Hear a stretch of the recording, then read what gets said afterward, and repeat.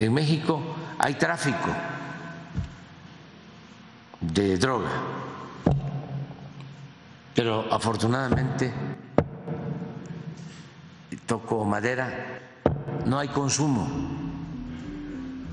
o es muy poco el consumo, a diferencia de lo que sucede en Estados Unidos.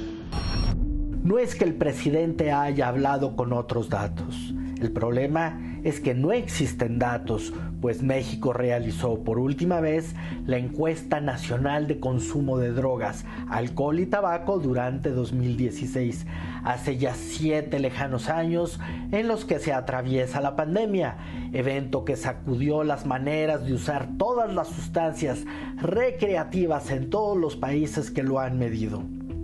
Aunque en México lo que se riega donde se esparcen el plomo y la sangre es el cristal.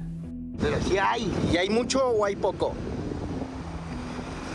Hay polvo, piedra, ay, marihuana.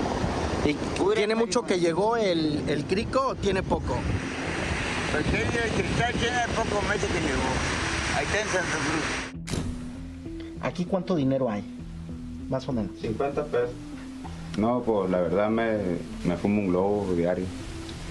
50 pesos o esta vecindad a 100 metros de Estados Unidos en que este hombre trabajaba para pagar dosis de 50 pesos, el mismo precio que tiene el cristal o crico en ciudades como Tijuana, que en pueblos agrícolas como Tepalcatepec, Michoacán, cuyos autodefensas han prohibido así el consumo de las metanfetaminas.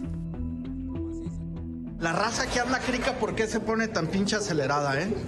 Porque es una droga muy fuerte, muy culera que nos hace tratar mal a la familia, a los hermanos, a la gente humilde. Nos sentimos más super, super poderosos porque andamos drogados. Yo le robé dinero, joyas y más que nada la vida, la vida de mi madre, que me la estoy acabando. Y el gobierno repite con claridad que consumir drogas está mal. Busca la línea de la vida, 800-911-2000.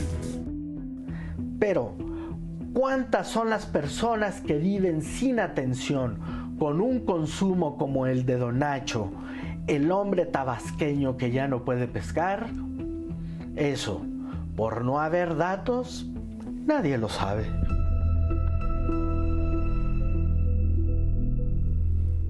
Y no hay datos.